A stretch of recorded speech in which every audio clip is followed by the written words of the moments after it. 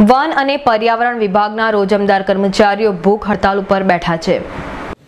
One અને પર્યાવરણ વિભાગના રોજમદાર કર્મચારીઓ વન વિભાગની ઓફિસ સામે ભૂખ હડતાલ ઉપર બેઠા છે. છોટાઉદેપુર જિલ્લાના વન અને પર્યાવરણ વિભાગના રોજમદાર કર્મચારીઓને વિવિધ માંગણીઓ જેવી કે અગાઉના રોજમદારોને મળેલ તેવા સરખા લાભ તેમજ રોજમદારો પાસે છવ્વીસ દિવસ કામ કરાવીને પંદર દિવસનો પગાર આપી શોષણ કરાય છે.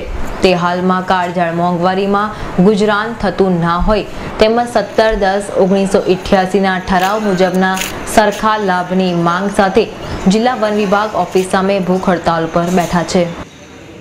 છોટાઉદેપુર ડિવિઝનના જંગલ ખાતાના તમામ રોજમદારો એકત્ર થઈ આજે નાયબ વન સંરક્ષણ કચેરી આગળ ભૂખ હડતાળ પર બેઠેલ છે. અગાઉ જે રોજમદારોને લાભ આપવામાં આવેલ છે તે પ્રમાણે અમૂન પણ લાભો મળે અને ત્રીસ દિવસનું કામ લે છે અને પંદર દિવસનો પગાર માત્ર પિસ્તાલીસો રૂપિયામાં આવા- આવે છે. જ્યાં સુધી અમને આ ન્યાય નહીં મળે, ત્યાં સુધી અમે ભૂખ હડતાળ પર અહીંયા બેસવાના છે